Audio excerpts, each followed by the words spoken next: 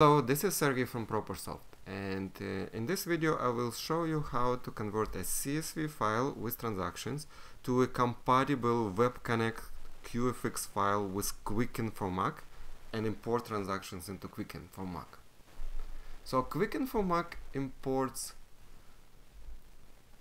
QFX files, also called Web Connect files, and CSV Mint files. Those are two options uh, for Quicken for Mac. And in this video we will try to convert a CSV file to QFX format. So let's say you have a CSV file and it was downloaded from your bank or created manually in Excel uh, or any other way and you need to import those transactions into Quicken. And the easiest way is to use the ProperConvert app load this CSV file into app, set QFX settings, and create a QFX file and import it. So let in our case we have sample file loaded and you may need to change the mapping how columns on CSV file uh, should be you know parsed by by the converter how converter should understand your CSV files which column is date which column is amount and so on and if you need to adjust it click the view mapping button. And there's CSV mapping and you tell the parser like which column should be used for which transaction detail. So in our case we have CSV file with date, amount, payee, memo, check number, type and category. And we tell the parser how we would use those columns for transaction details. These are transaction details and other settings. We tell the parser how to parse the CSV file. And we see that date is set as date, amount as amount, payee as name, and memo as memo, check as document number, and type uh, if it's provided, uh, uh, how to use it. If you if your amount column uh, has positive and negative number you don't need to do this status thing because the amount is enough. And if you call if you have two columns debit and credit uh, or withdrawal and deposits then you would use this to do not use and instead use deposit column and withdrawal column. And if you have uh, like one amount column with all positive numbers and then you have type column with words like debit credit then you would use amount and status column. So those are short uh, videos like short sidetrack about mapping.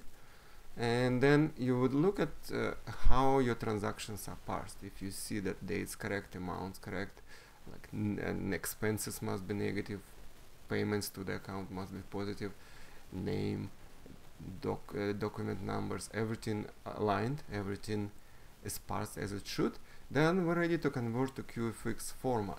So first we need to make sure that we have QFX format selected. Click on the QBO, QFX, OFX tab and then set the file type as QFX Quicken US. If you're Canadian then you would use Quicken Canada if you're not Canadian, not US, but you're using certain Quicken version, most likely it's gonna be Quicken US. And uh, for QFX file, you need to set this value INTU.BID value. This is like a number. In uh, Quicken has a kind of like a list of banks, and each bank has a number. And certain banks are allowed, certain banks not allowed. Certain banks allowed for checking accounts and certain banks allowed only for credit card accounts. So in you can search for your bank something like Capital One for example. So this bank is allowed for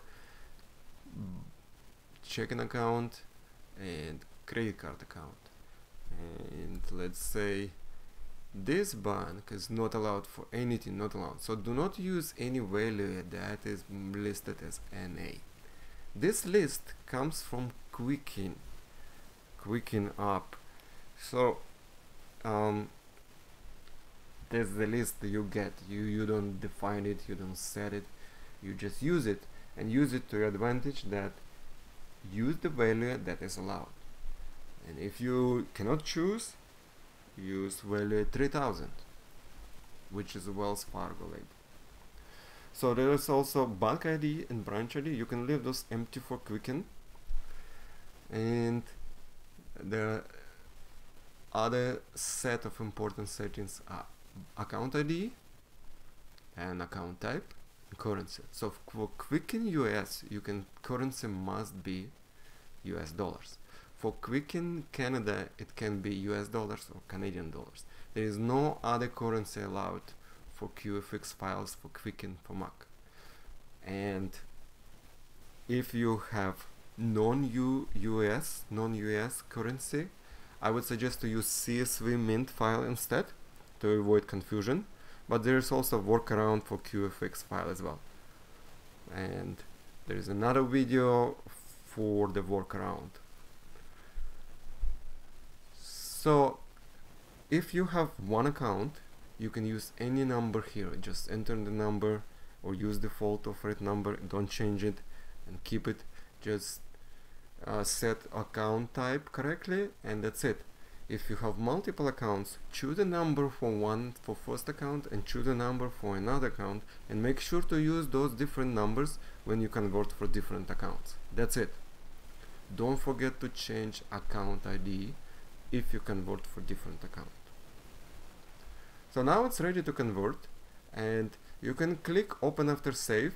What what will happen is uh, the file will be created and the system the the converter will call this the your operating system macOS in this example and will ask uh, the app that associated with those files to import that file it could be Quicken it could be something else. So if uh, but it is convenient when you have this set that when you click convert and confirm file name then you know it will be just imported into default app. If you have few few more seconds I suggest to uncheck this click convert confirm the file name and then switch to Quicken. Go to file import bank or brokerage file.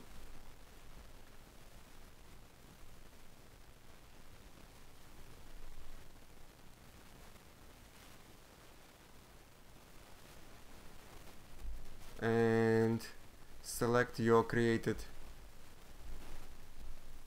QFX file. So what will happen is Quicken imports this QFX file. It sees that account ID. It sees that there is nothing associated with that account ID and it's uh, it will ask you select account to import uh, like uh, import transactions but it asks you to do this link you see it says other link account you would be uh, you would like to add it to Quicken. So it offers to create a new account. This is type this is action and then this is account name. That's one of options you can uh, I would call in this case like a proxy or Im import. So if this in this case you would import into a new uh, that into that import account all the time and then you would need to move transactions from that import account to another account.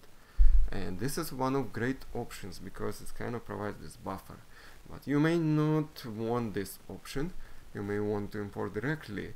So in this case you need to select account existing account. So in our case we have US dollars currency so we need to select US account otherwise it would see that in the currency on the account is different from the currency on QFX file and will not import. So that's uh, those are options. So let's say uh, with, with we want to add new account import. So I would, I would go here. So we have new account created. All transactions are imported what you can do is select tran transactions here. So click the first one then hold the shift button and click the, the last one and then click your mouse button left if you have two buttons left button and drag your mouse to account where you want transactions to be. It can be any currency. It could be uh, Canadian dollar uh, euro account or US dollars account. It doesn't matter which currency here all those amounts will be as is. So let's say let's move it to Canadian account. And so Quicken says you want to, to move those transactions. Yes. And now we have those transactions amounts did not change.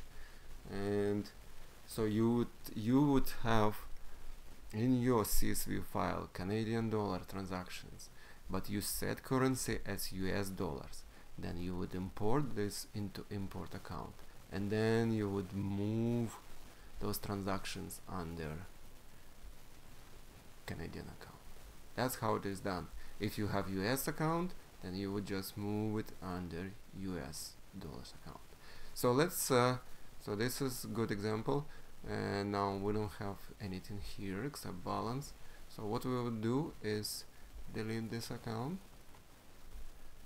And now let's try to import directly under US dollars account.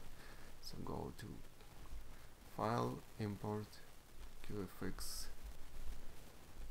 sample QFX and then select existing account and continue. And then we have transactions imported directly into this account. And they also have this blue icon means they are new and ready for review. So that's it. That's how you convert CSV file to QFX and import into Quicken for Mac. Thank you for watching. Please subscribe